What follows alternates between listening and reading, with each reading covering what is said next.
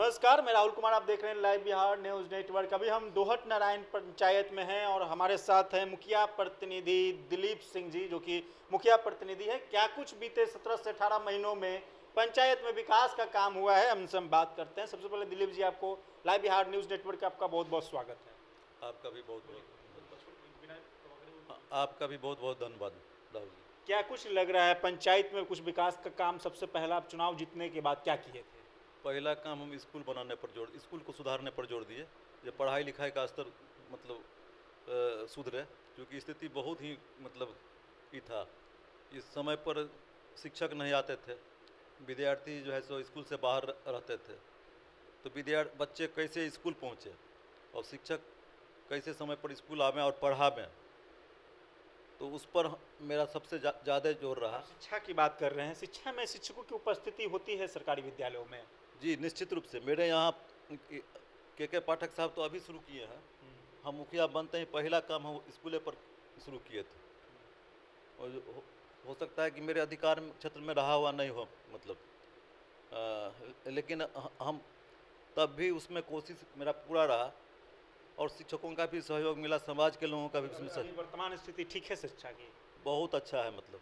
हमको तो इ कहते हुए मतलब ये है फक्र महसूस हो रहा है।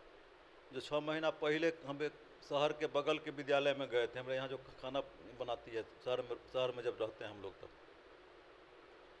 तो उसके हम एमपी साहब के घर मिलने गए थे। एमपी साहब से के बगल में उस स्कूल में उस- उनकी बच्ची पढ़ती है।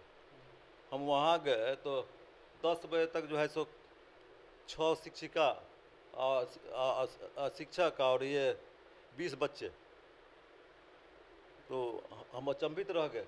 कि भाई शहर का ये स्थिति है।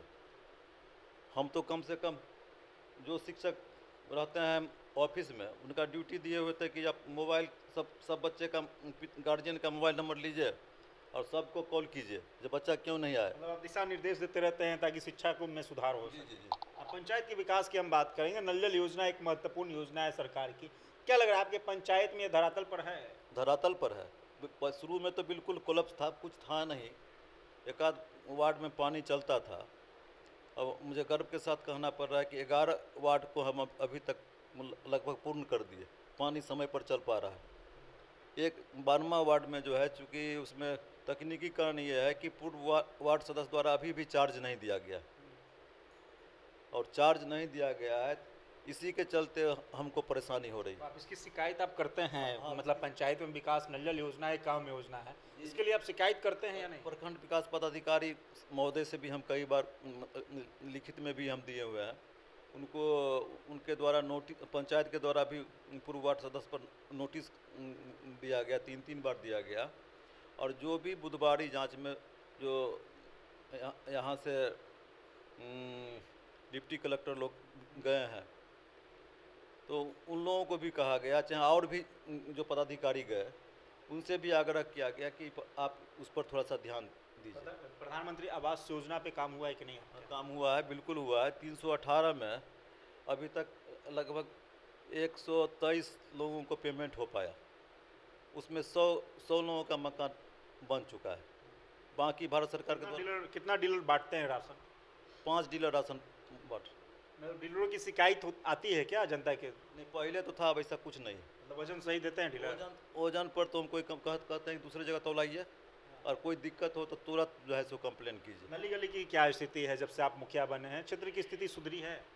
क्षेत्र की स्थिति सुधरी है। मुख्य सड़क तो तीन सड़कें हमारे पंचायत के अंदर उसमें दो तो पक्कीकरण हो गई है। तीसरा तीसरा का जो है सो टेंडर का प्रक्रिया में है। और जहाँ तक नली मतलब जो है सो गली गली की बात है जहाँ जगह की कमी है जगह का समस्या है वहाँ हमारा मजबूरी है कि हम उसको नहीं बना पा रहे हैं क्योंकि साथ साथ हमको नाला भी बनवाना है। और मनरेगा से बहुत लोग करने के लिए इच्छुक नहीं है। इसीलिए थोड़ा उसमें हमको कठिनाई हो रही है। लेकिन विकास के लिए हम दो दो विद्यालय अपने पंचायत में। एक विद्यालय हम हम पंद्रहवीं से लेके देखे जो उम, उम, वहाँ था दलित टोला पर था। उसका छत ढलवा दिए हैं उसमें प्लास्टर चा, चालू करवा रहे हैं। क्योंकि मर्ज कर गया था विद्यालय उसको सीनियर पदाधिकारी से मिल के उसको हम फिर फिर उस उसको ये किए और और उस उसका भवन हम निर्माण करवाए। दूसरा विद्यालय कभी मर्ज किया था अमता में उसको उसको उसको भी जो है सो हम रुकवाए और शिक्षा विभाग के द्वारा हमको 28 लाख साठ हज़ार का ई मिला है। वहाँ मिट्टी भराई का काम हो गया है और जल्द ही निर्माण कार्य वहाँ भी चल तीन साल का कार्यकाल बचा है। तीन सालों में आप पंचायत का विकास किस तरह से करेंगे? तीन सालों में तो मुख्यमंत्री आवास से हम लोगों को बहुत उम्मीद थी कि जो वास्तविकता यही है कि जिनको जो घर विहीन है उनको आवास मिला नहीं था। जो आवास अभी प्रधानमंत्री आवास था वो पहले से से स्वीकृत था। सिर्फ़ सारे कुल मिलाकर के सरकार से क्या कुछ अपील करना चाहते हैं जिससे कि पंचायत में विकास हो? सबसे पहला तो हमारे यहाँ जो है सो सबसे ज़्यादा ज़रूरी है कि आवास का जो है तो मुख्यमंत्री आवास या प्रधानमंत्री आवास कम से कम 500 ऐसे व्यक्ति चिन्हित व्यक्ति हैं जिनको मिलना बहुत ही आवश्यक है। वो वो छत विहीन है और बरसात में काफ़ी कठिनाई के साथ जीवन यापन करते हैं। बहुत ज़रूरी है ना? चलिए, ये थे दिलीप सिंह जी, जो कि दोहत नारायण पंचायत के मुखिया प्रतिनिधि हैं, जिन्होंने साफ़ तौर पर कहा है कि पंचायत का विकास करेंगे, तीन साल जो शेष रह गया है, उस तीन सालों में पंचायत का विकास हम ज़रूर करेंगे। कैमरा पर्सन इंटू के साथ मैं Rahul Kumar, live Bihar news network, Darbhanga.